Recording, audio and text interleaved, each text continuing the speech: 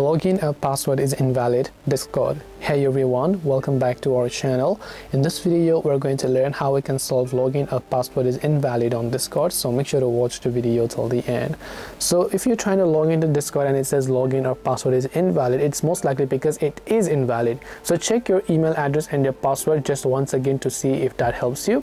Otherwise what you can actually do is if you don't remember your let's say your email and password or maybe something like that you need to have access to the email by the way so once you make sure you have access to the email all you have to do is just tap on forgot password option. So make sure that email is correct tap on forgot password option.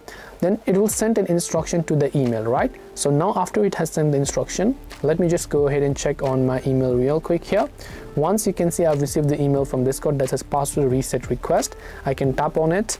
Then i can tap on reset password then it will directly take me to the new page where I can choose a new password without having to remember my old password. Then once I change my password I can just come back and log in using the new password instead.